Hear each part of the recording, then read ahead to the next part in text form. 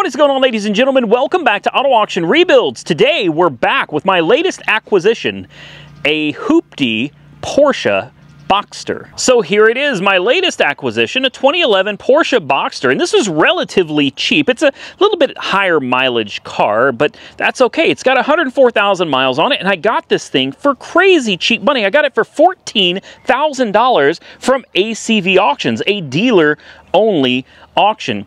It's got a few nicks and scrapes and dings here and there, but overall, I think the car presents very well. You guys can tell me what you think, but personally, I think it presents itself very, very nicely. Sharp looking car. That yellow really pops. You got the convertible top, which I know some of you hate convertibles, but I personally love being able to put the top down. I also love that this generation doesn't have the runny headlights. You know, the headlights that look like runny eggs. I love the way this car looks. Take a look at it from the front right here. Would you look at that? Absolutely beautiful. This is an automatic transmission car. I know, I know, I can already hear it. Bleh. But guess what? This is a PDK transmission. Same transmission that I had in my Porsche Panamera. And these things shift quick. I forgot that it was locked, but that's okay. I have the key right here. Bingo. Now let's open the door and, oh, I've got to, don't pay any attention to that. Like I said, high mileage hoopty, okay? Some of this weather stripping needs to be glued back into place. Let's pop the trunk. One of the things I love about this car is it is a true mid-engine car. You probably expect to see an engine back here if you're not familiar with Porsches, but no, there's actually a trunk. But back behind here, oil and coolant. Yes, there's a dipstick right there close this up. I don't know what else we have back here. Looks like a little package tray thing for the convertible top, and that's it. Up front, well, we have a frunk, because again, mid-engine car. The engine actually sits like right here in this vehicle. Pretty cool if you ask me. Let's pop the front trunk. Let's see what she's working with under here. This car is really dirty. I almost feel bad even bringing it to the channel this filthy. You got a few things up here, starting with the battery. The batteries on these are always going to be located underneath this. Up here, you have, I honestly don't know what this is. What do we got going on under there? I have no idea what that's even for. Air filter? Is there some kind of a some kind of a filter in that box? See, I, I went to opening it thinking I'm going to be able to know exactly what it is. Not a clue. Not a clue. Over here, brake fluid. And of course, right up here is your windshield washer reservoir. And then it came with what I thought was pretty cool, some hybrid brand new windshield wipers. There's some cover here for a fuse box. Don't know where that goes. And then we've got a tire inflator just kind of lounging around up here as well. I think this is an awesome little car. And spoiler, I have driven it. It is kind of a hoopty because it does have some paint defects. Like, I don't know what's going on there. Somebody tried to touch it up with a different color, yellow or something? I don't know. It's got a scrape and a dent right there. That kind of sucks. And the, uh, this doesn't work. You see the window? It tries. But if you rattle this, listen. Yeah, uh, door handle is broken, so that'll have to be addressed. It's got relatively good tires. They don't match. It's got two tires in the front that are one pair and then two in the back that are another pair. Whatever, and again, little scrapes, little nicks and dings here and there, but overall, I think the car actually presents itself very well. It's a good looking car. You got some weather stripping here that likes to fall down. Um, someone tried gluing it with hot glue. That didn't, uh, that didn't work. So we'll have to you know, address that at some point. Then when you get on the interior, um, it's missing the kick panel over here. I don't, I don't know what happened to it, but it's gone.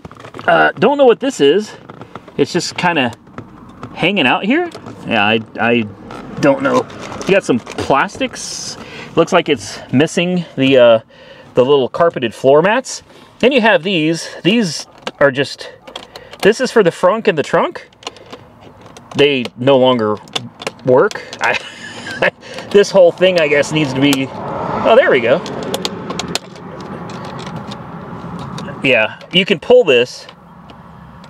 Nothing happens. Same thing with the back.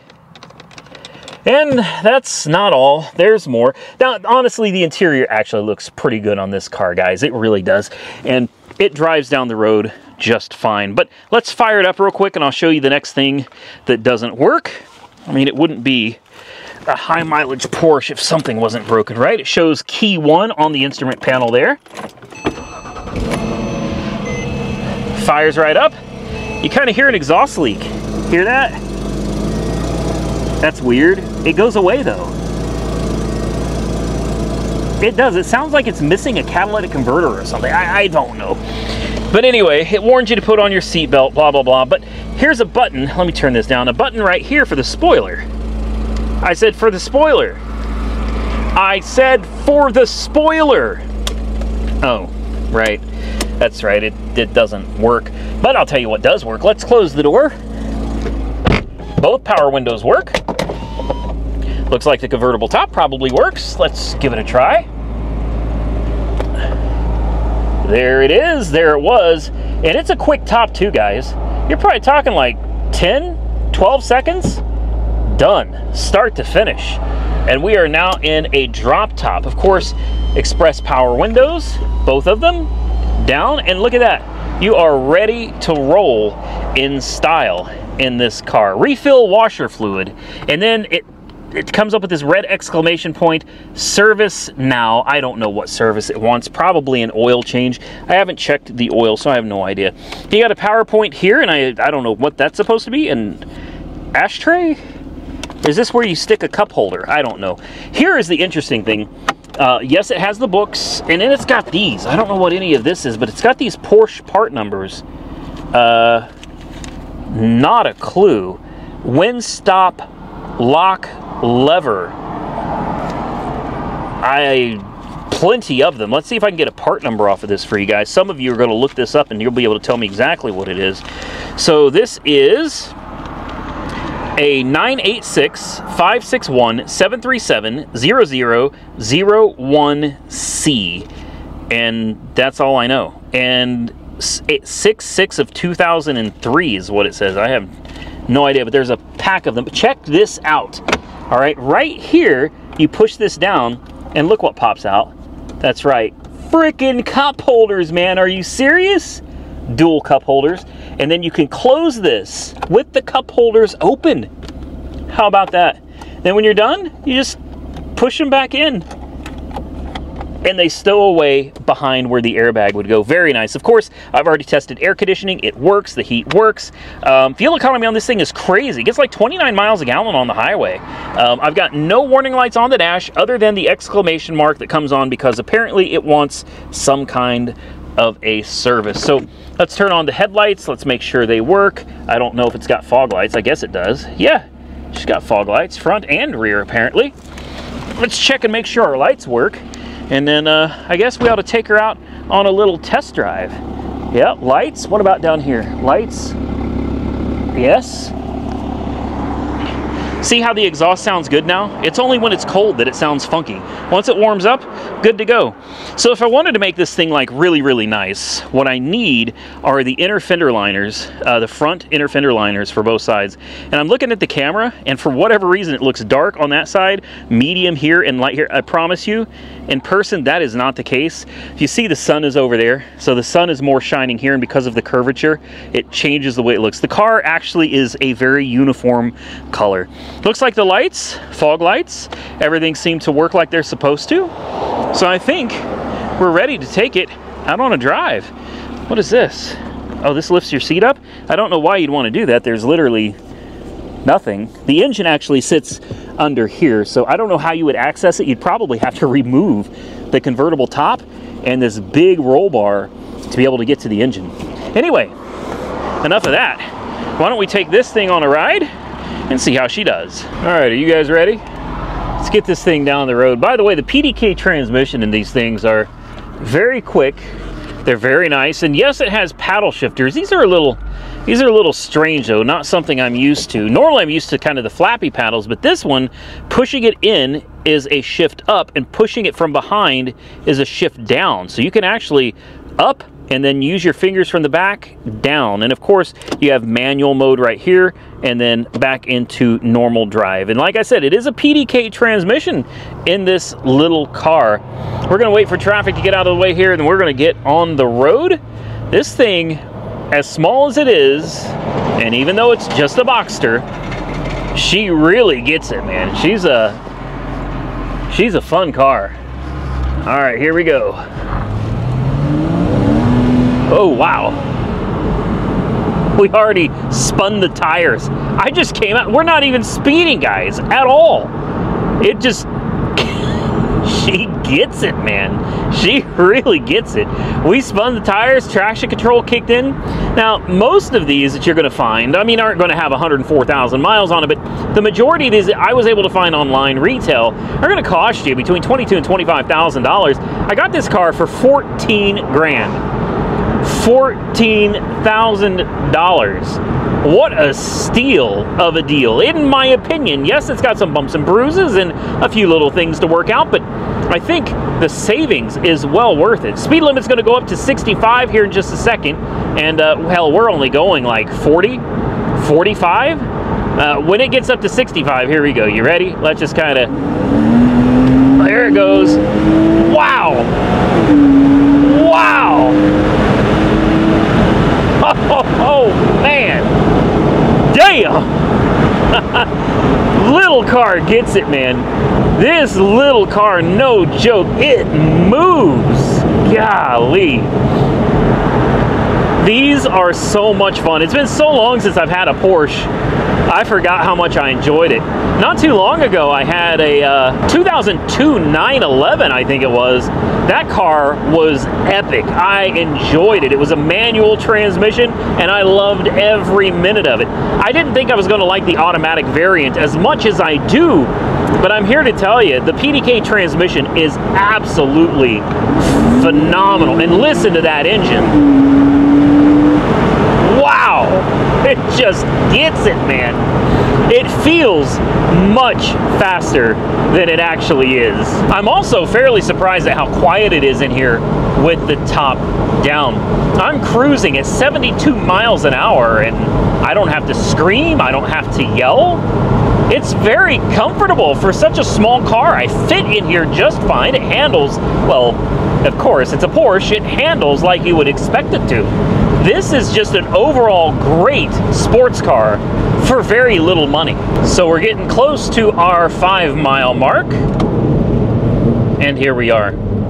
Seven speed automatic transmission. Got this silly little Chevy back here trying to ride my ass.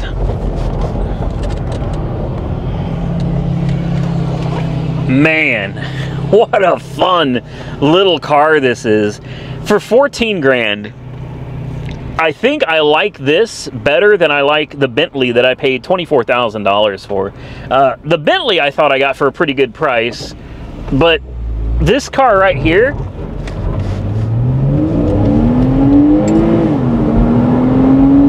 wow. Just an absolute blast. Yes, I'm saying it. I like the most basic Porsche you can buy, the Boxster, what they call the poor man's Porsche, better than I like my Bentley. I do. This thing is far more fun, and I think the color just really makes it pop. Yes, the cruise control works. Yes, the heat and air conditioning works. Power locks work. Really, there's only a few minor things on this car not functioning right. The exterior door handle on the passenger side is kind of a big deal to get fixed. The spoiler, I don't know, does it really matter all that much? Nah, not really, not to me anyway, but you know, it could be fixed. You're missing a couple of fender liners and you're missing the carpeted uh, kick panel for the driver's side, and of course, a couple of floor mats. You clean this thing up and fix all those little things, you got yourself a pretty sharp little Porsche that you could really take out and enjoy. Of course, I would do some basic maintenance to it myself. I would change the spark plugs, maybe change the transmission fluid, definitely change the transmission fluid, and uh, probably do a coolant flush on it just as a safety precaution. Very minor stuff, very basic maintenance that a lot of you could probably do at home. Worst case scenario, take it to Porsche, let them do it. But still, $14,000 versus 22 to 25,000.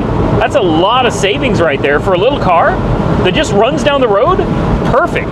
Now, of course, you know I've got to film as we go past the fireman's house that likes throwing rocks at people's cars, just in case he decides to come out here and do it again. I'm literally going 40 miles an hour in a 45. So, yeah. I saw him when I was voting the other day. Uh, he turned out to be a much smaller guy than I thought he was. I don't know. Uh, first time I stood like right by him, he didn't even know I was there. I saw him and I was like, man, that is a very small dude. Don't underestimate a small guy, though. I'm not saying that small guys can't fight. I've, I've encountered some pretty scrappy uh, smaller dudes before. It was just kind of surprising to me standing next to him uh, how small the guy really was.